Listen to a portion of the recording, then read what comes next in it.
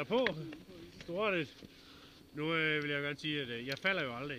Øh, og hvis det nogensinde skulle blive dokumenteret på film, så er det øh, manipuleret, vil jeg sige. Øh, Du kan sikkert mange ting med det der, Anders, der. Og hvis det nogensinde, altså det, øh, sige, så er det snyd.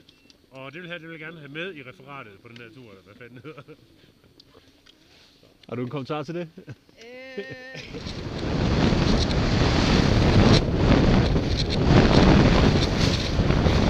Wow!